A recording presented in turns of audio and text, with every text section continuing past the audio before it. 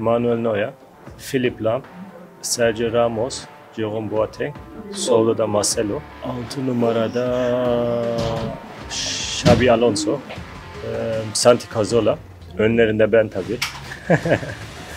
Solda Ronaldo derim, önde Benzema, sağda da Alexis Sanchez. Abi peki Türkiye'den Türk bir oyuncu koyma şansın olsa kimi koyardın?